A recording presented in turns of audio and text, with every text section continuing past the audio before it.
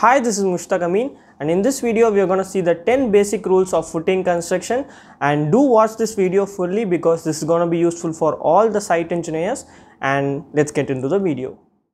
Okay, rule number 1. 6 inch sand filling should be provided inside the excavated pit which means inside the excavated pit before the construction of the footing we need to fill the pit with 6 inch sand and that's gonna act as a bed. So rule number 2 6 inch PCC should be provided inside the excavated pit.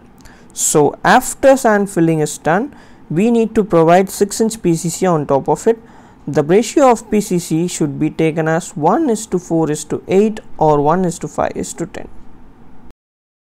Rule number 3 3 inch cover blocks should be provided at the bottom of the footing reinforcement. So before the placement of footing reinforcement, we need to provide cover blocks at the PCC bed and we should also provide 3 inch cover distance at the top. If 3 inch cover blocks is not available, you can go for a 1.5 inch cover blocks binded together. Rule number 4 Minimum dimension of footing should be 4 feet by 4 feet. So except stub column, we need to provide 4 feet by 4 feet as a minimum footing dimension. So what is a stub column? Where it is used? It is the column that is terminated at the plinth level. This column is used as an intermediate support for the plinth beam. So in stub column, we can provide 3 feet 6 inch by 3 feet 6 inch footing as a minimum dimension.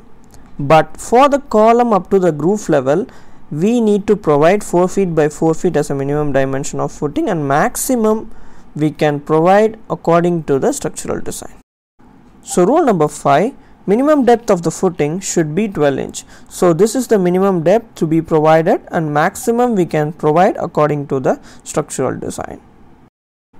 Rule number 6 minimum spacing of the bars should be 4 inch. So the center to center distance between the reinforcement bars should be 4 inch and not less than that since the coarse aggregate that is the blue metal cannot pass through the spacing.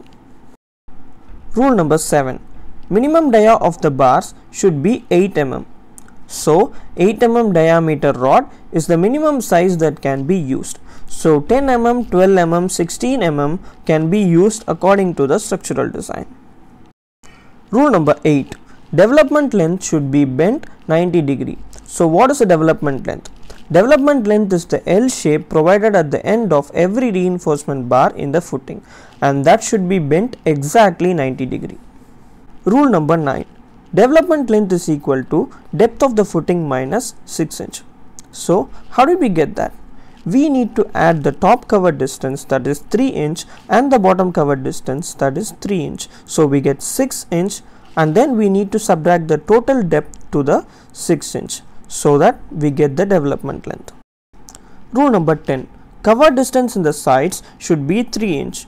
So before keeping the reinforcement make sure the four sides of the pit walls do not touch the reinforcement bars and have 3 inch cover distance on all the four sides.